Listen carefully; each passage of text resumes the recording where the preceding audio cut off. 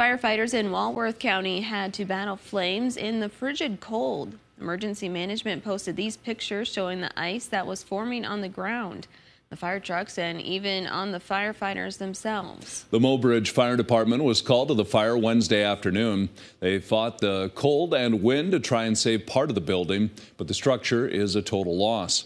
Crews were able to get a tractor and a vehicle out.